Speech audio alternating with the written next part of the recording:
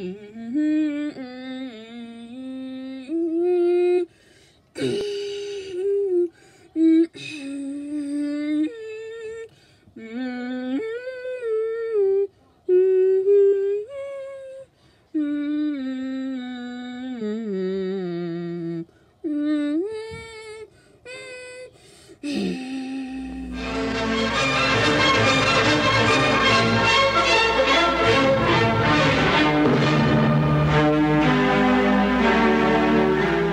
Hey guys, Tracy, welcome to episode 76A of the RLE series. In this episode, we'll take a look at the predecessor to Anchor Bay Entertainment, talking about Video Treasures. They were founded in 1985. They ended in 1998 when they completely turned into Anchor Bay. We have only two logos. Their first one is called Video Treasures in Space, seen from 1985 to 1988.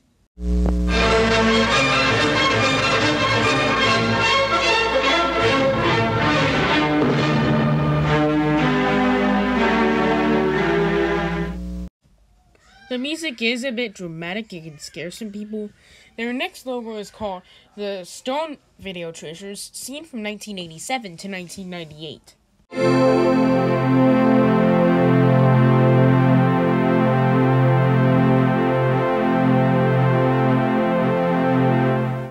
Some people say the music is just a single F major chord. Okay, that's it. See you on episode 76B. Ladies and gentlemen, see you all on the Radiator.